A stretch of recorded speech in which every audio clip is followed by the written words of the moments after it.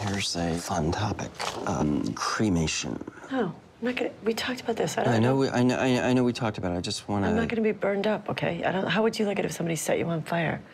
No, thank you. Well, it's not like they light you, uh, you know. I don't like camping and I don't like fires and I don't want to be personally lit on fire. I want to be frozen. Do they have that as an option?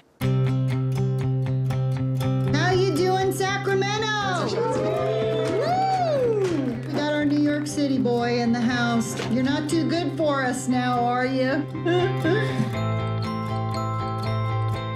I'm glad that you're moving home for a bit.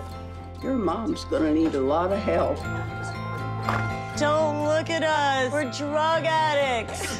I thought you didn't want to try medical marijuana. well, I tried it.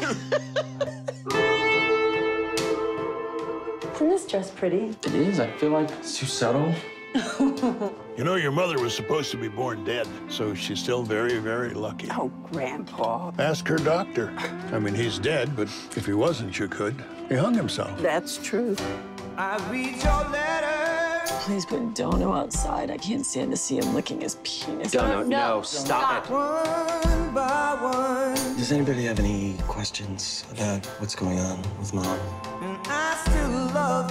When I die, you gotta live your life. Except you can't date anyone for a year, and you can't date that slut who came to the door today. when I wish we could just travel the whole world real quick so you could just see everything. I get to see my whole world at dinner tonight. All I ever wanted was to be a mother. I thought when your mom dies, you get that beautiful revelation about life. And just everything becomes clear. It all just feels like something that happens to other people. Oh, but nothing takes the place of you know, when uh, you're other people to other people.